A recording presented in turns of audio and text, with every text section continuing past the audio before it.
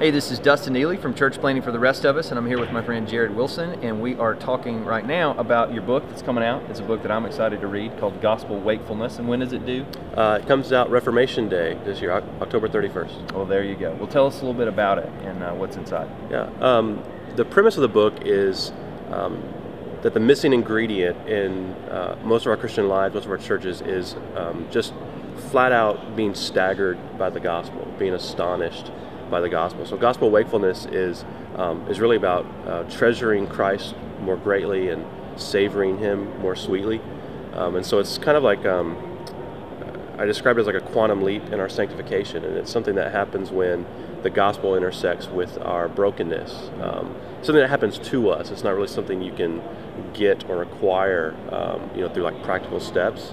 Um, it's an experience, kind of like the prodigal son when you know he came to his senses. Uh, you know, or, um, some translations say he came to himself when he was in that, you know, in that pigsty. Um, or um, you know, the lame man outside the beautiful gate in the book of Acts, who, um, you know, he beheld, you know, the proclamation of the gospel. He was asking for money, but he got the word of God, and he, he ended up, you know, being healed, and so he's leaping and, and, and praising God. Um, and so it, it kind of, um, I look at like First Thessalonians chapter 1, verse 6, where uh, uh, uh, Paul writes, um, You became imitators of us and of the Lord because you received the word in much affliction with the joy of the Holy Spirit.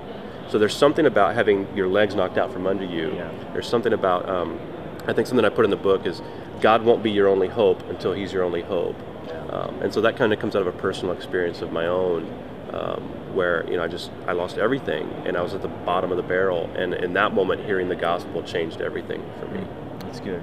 Well, for the guy that is hearing this and they say, I want to read that when it comes out, but until it does, what are some, some tips that you'd give him to, to kind of come to this gospel wakefulness for Yeah. his part that he is able to do uh, that, that could help guys even today? Yeah. Um, well, one of, my, one of my favorite things that one of my favorite people um, says, Ray Ortlund says, stare at the glory of God until you see it.